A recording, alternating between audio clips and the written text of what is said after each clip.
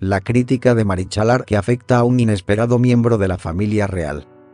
Hace ya tiempo desde que Jaime Rafael Ramos María de Marichalar y Sáenz de Tejada, más conocido como Jaime de Marichalar, se divorciara de la infanta Elena de Borbón en enero de 2010, dejando de ser así el miembro díscolo de la Casa Real Española. Leticia entró a formar parte activa de la familia real desde algo antes de aquel histórico noviembre de 2003. Podríamos decir así que casi 10 años de relación, y aparente buena relación, mantuvieron el exmarido de la infanta y la actual reina de España. Ahora, en unas declaraciones de Marichalar para una conocida revista, la crítica de Jaime podría detonar esta cordialidad entre el noble y la esposa de Felipe VI. Los motivos y consecuencias, a continuación. La entrevista más completa de los últimos años a Jaime de Marichalar. Jaime de Marichalar siempre ha estado vinculado al mundo de la moda y, aunque es habitual verle asistir a diversos desfiles, él no sigue las tendencias. Nunca lo ha hecho. Cuando todo el mundo saca sus teléfonos móviles para hacer fotos, grabar o incluso retransmitir en directo lo que está sucediendo en la pasarela, Jaime de Marichalar no lo hace. No me gusta el fashion victim, Tampoco el color negro, me parece muy aburrido, sentencia Marichalar en exclusiva para Vanity Fair, y añade que, para él seguir la moda es no tener personalidad. Es esta una indirecta al vestuario de Doña Leticia y a la que en su día fue casi su única aliada dentro de la familia real. La esposa de Felipe VI está considerada como una de las reinas más ligadas a la moda de todo el mundo. De hecho, el pasado año Leticia fue, incluso, referente en la edición americana de Vogue. Analizamos con lupa las palabras de Jaime y sus posibles consecuencias. ¿Cómo afectarán las palabras de Marichalar a la familia real? ¿Se dará Leticia por aludida? Jaime de Marichalar y sus dos socios, Federico Zanoya y Goyo Fernández, han creado B-Corner, una marca de slow tailoring, y por la que han concedido la entrevista a la citada revista Modo de Promoción. Marichalar suele aparecer en todas las listas de elegantes, pero nunca pensó que crearía una marca propia. Te prometo que jamás imaginé que iba a tener mi empresa. Pero bueno, llevo muchos años en esto y es una forma de aprovecharlos, asegura Marichalar para Vanity Fair. Él rescató y puso de moda prendas casi imposibles y accesorios olvidados en el armario masculino como las pulseras y las pasminas. Sobre los motivos que le llevaron a embarcarse en la creación de la marca, afirma yo me apunté al proyecto por razones meramente egoístas, necesitaba un sastre, afirma el padre de Felipe Juan Froilán. En este contexto es donde Marichalar ha vertido unas palabras que de forma directa o indirecta afectan a la reina Leticia, la única miembro de Casa Real ligada a las tendencias, habrá siendo consciente de ello Leticia, la única miembro de la familia real ligada a las tendencias y a la moda. Leticia es la mejor embajadora de moda en España. Sus vestidos, propuestas, diseños y estilo son copiados en todo el mundo. Sí, en todo el mundo. El pasado mayo de 2017, la reina aparecía en la edición norteamericana de la prestigiosa revista Vogue como icono. De hecho, la reina Leticia es aficionada a customizar sus propias prendas. Conoce su cuerpo, sabe de moda y ella misma confesó en un acto de Mercedes-Benz Fashion Week Madrid en 2010 que en ocasiones pide que se modifiquen algunas de sus piezas. Yo y mis apaños, deslizó la entonces princesa de Asturias. Hilando fino, Leticia es sinónimo de tendencias y si ahora Jaime de Marichalar afirma que seguir la moda es no tener personalidad, podríamos considerarlo como una crítica directa a la reina. Punto Marichalar y Leticia mostraron complicidad cuando ambos eran miembros de la familia real. No sabemos qué ha podido ocurrir, si es que ha ocurrido algo entre la reina Leticia y Jaime de Marichalar para llegar a entender esta frase. una sentencia lanzada al vuelo y vista por muchos como un ataque directo a la que un día fue su aliada dentro de la familia real. Pero ahí está y solo hay que ser objetivos. Lo cierto es que Jaime de Marichalar fue el protagonista del primer divorcio real en nuestro país y, con varios escándalos a sus espaldas, quizás no le cueste nada sentenciar una vez más a quien él considera que carece de personalidad. Pero por su parte, Leticia sí opina y decide, o por lo menos esa es la sensación que dejan las imágenes que analizamos en la próxima página. La reina Leticia sigue las tendencias y las adapta a su estilo. El estilo de la reina Leticia se encuentra constantemente expuesto a examen.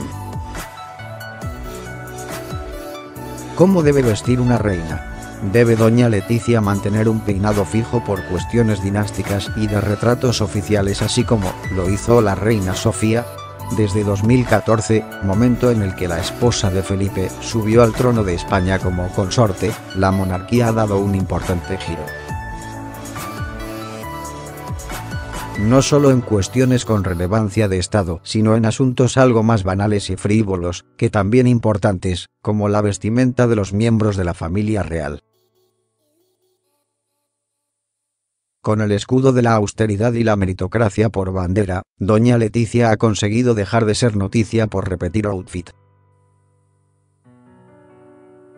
De hecho, por el uso que le da su buen fondo de armario, hemos podido detectar cuáles son sus vestidos, complementos e incluso joyas favoritas. En la imagen que adjuntamos podemos ver cómo Leticia ha llegado a repetir el mítico vestido de Hugo Boss hasta en cinco ocasiones, actualmente más de 10. El modelo en cuestión no es más que un traje sencillo, sin mangas y falda lápiz. Llama la atención el estampado algo abstracto con tonos claros, negros y grisáceos. Su estreno oficial data de octubre de 2013, en estos cuatro años y medio doña Leticia ha amortizado bastante este vestido atemporal de una de sus firmas favoritas. Un hecho que demostraría que seguir las tendencias y adaptarlas a tu propio estilo, en este caso al de doña Leticia, no es sinónimo de carencia de personalidad.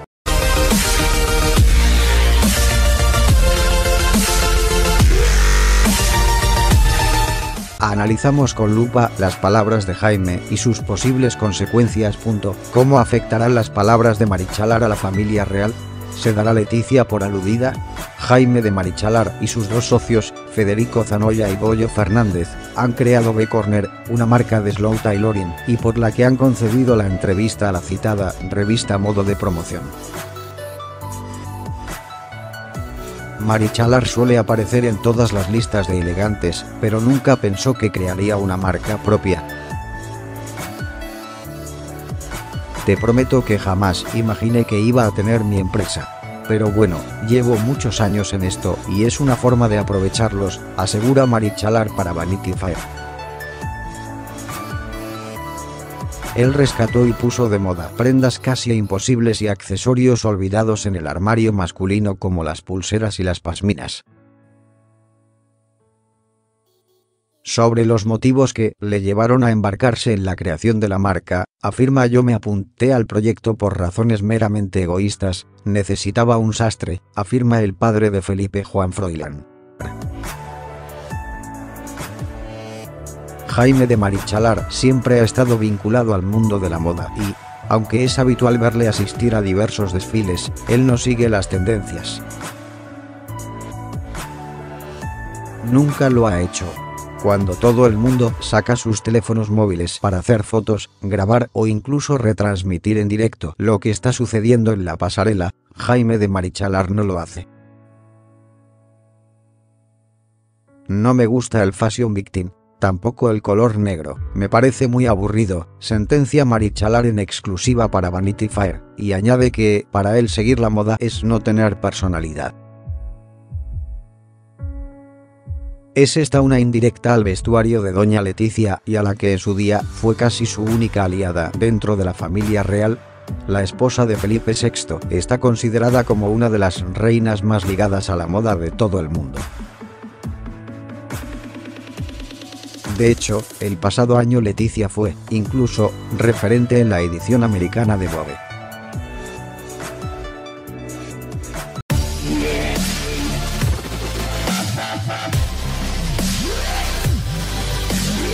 La crítica de Marichalar que afecta a un inesperado miembro de la familia real.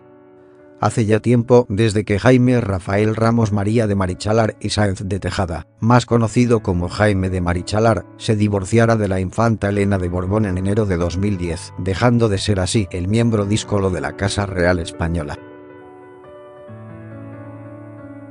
Leticia entró a formar parte activa de la familia real desde algo antes de aquel histórico noviembre de 2003.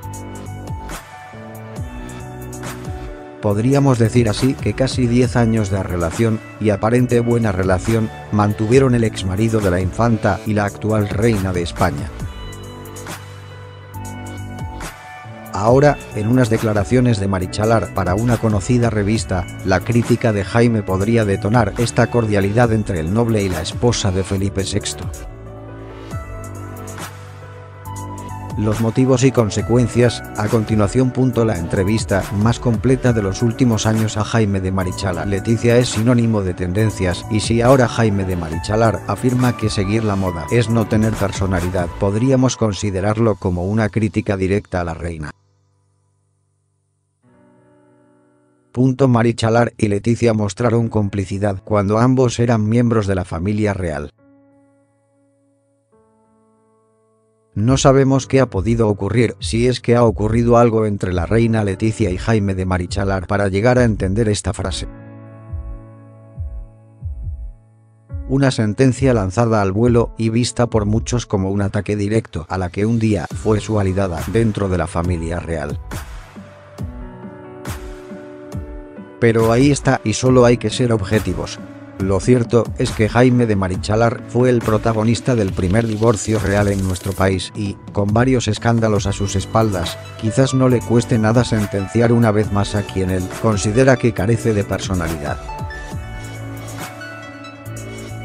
Pero por su parte, Leticia sí opina y decide, o por lo menos esa es la sensación que dejan las imágenes que analizamos en la próxima página. En este contexto es donde Marichalar ha vertido unas palabras que de forma directa o indirecta afectan a la reina Leticia, la única miembro de Casa Real ligada a las tendencias, habrá siendo consciente de ello. Leticia, la única miembro de la familia real ligada a las tendencias y a la moda. Leticia es la mejor embajadora de moda en España. Sus vestidos, propuestas, diseños y estilo son copiados en todo el mundo. Sí, en todo el mundo. El pasado mayo de 2017 la reina aparecía en la edición norteamericana de la prestigiosa revista Vogue como icono. De hecho, la reina Leticia es aficionada a customizar sus propias prendas, conoce su cuerpo, sabe de moda y ella misma confesó en un acto de Mercedes-Benz Fashion Week Madrid en 2010 que en ocasiones pide que se modifiquen algunas de sus piezas. Yo y mis apaños deslizó la entonces princesa de Asturias. Hilando fino,